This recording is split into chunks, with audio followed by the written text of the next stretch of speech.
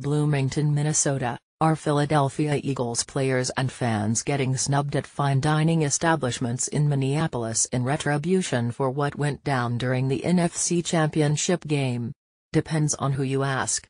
I just know that anywhere that I hear of, nobody wants to help them, said Chad Walden, identified as a manager at one of the top eateries in Minneapolis, Butcher and the Boar, of Eagles fans and players. I think we're far more civilized than that, regarding reports of violent celebrations from Eagles fans, but we'll do it in our own passive-aggressive Minnesota way, we just won't let them eat dinner in our restaurants.